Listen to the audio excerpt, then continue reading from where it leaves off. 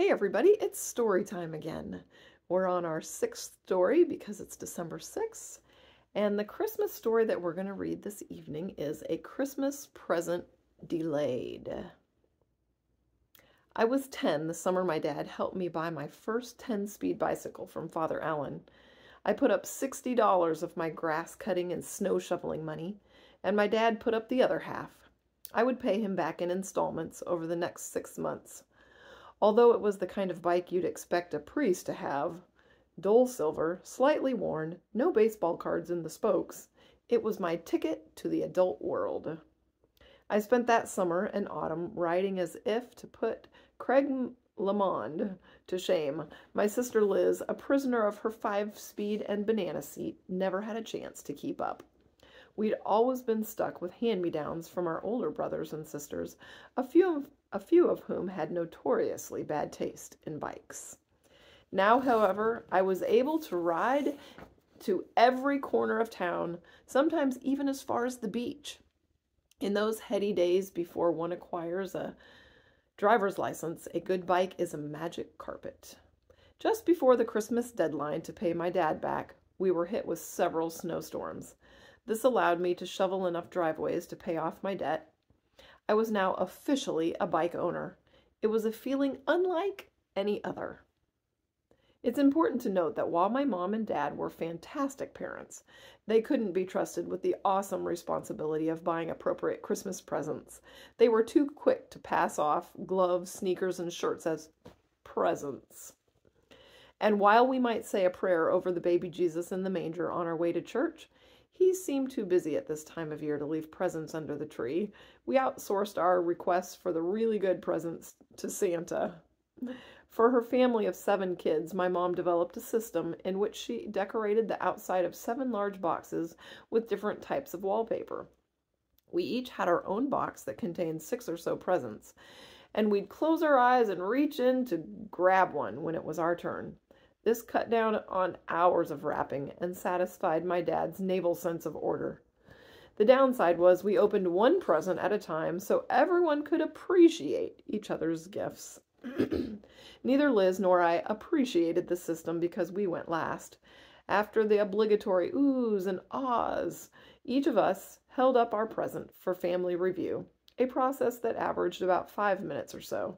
This meant Liz and I had to wait about 45 minutes between each present, so patience was in short supply.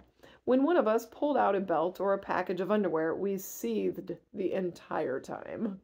My dad, a master showman, liked to keep a few of Santa's better presents for the end.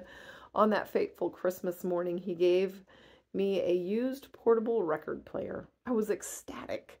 I was finally untethered from the family stereo that all of us fought over. Alas, my elation was short lived after my dad called my sister to the kitchen. We have one more gift for you, he said as he opened the door that led to the garage. There on the steps stood a brand new 10 speed Schwinn bicycle. I didn't hear her screams of joy. All I could hear was the sputtering engine of the lawnmower, the endless scraping of the metal snow shovel on the concrete. I'd endured far too many hours of indentured servitude for my used bike. That Santa could give Liz this sparkling machine less than a week later was a sign that he was losing his touch. Could Mrs. Claus be putting something in his food? I slumped onto the floor. My 10 speed chariot had turned into a pumpkin in the time it took my sister to hop on the gleaming leather seat. Let's go for a ride, Rob, she sang, my dad holding the bike upright as she put her feet on the pedals. Too snowy to ride, I muttered, pushing the record player farther away from me. The symbolism seemed lost on my dad. I seethed for the rest of the day, then the rest of the week. My dad was someone to whom my dad was not someone to whom we complained about presents. Not if we ever wanted to see another, anyway. Santa always seemed to lose interest after Christmas, rarely accepting returns or trade ins. That left the baby Jesus. But he wasn't answering my prayers. I could tell because Liz's bike had yet to crumble into a pile of rust flakes.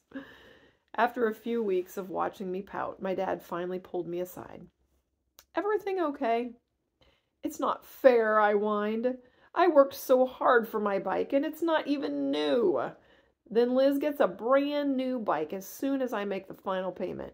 She didn't have to do anything for it. My dad smiled. She didn't have to do anything for it because it's not really for her, he said. And then he left the room. What did that mean? I didn't want her bike. It had the girly bar that sloped down to the ground and a flowery white basket on the handlebars.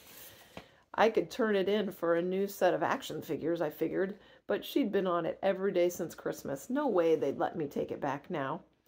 I eventually got over got over it, chalking it up to elf error. The naughty and nice list can be cumbersome. Cumbersome.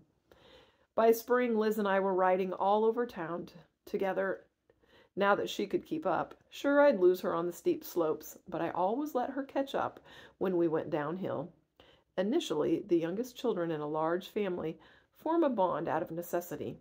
Older siblings can be taxing, and there are only so many locked doors one can hide behind. Sometimes you need someone else in the foxhole with you. As we grew, Liz and I became true friends. We biked down to swim at the local pool, then put in seven miles to take the Freetown tennis lessons together. We planned secret parties when my parents went on trips and played a game of who can leave less gas in the tank when we finally got our driver's licenses. I relied on her to put names to faces when we were at parties, and she treated my best friends as her personal dating service. We ended up at the same college and even graduated the same year. Still, I wasn't smart enough to figure out what my dad meant until years later. That brand new bike was not a gift for Liz, it was a gift for me. He'd given me the gift of my sister's company, the ability to stay together rather than drift apart in the face of my ability to travel. He gave me my best friend that Christmas.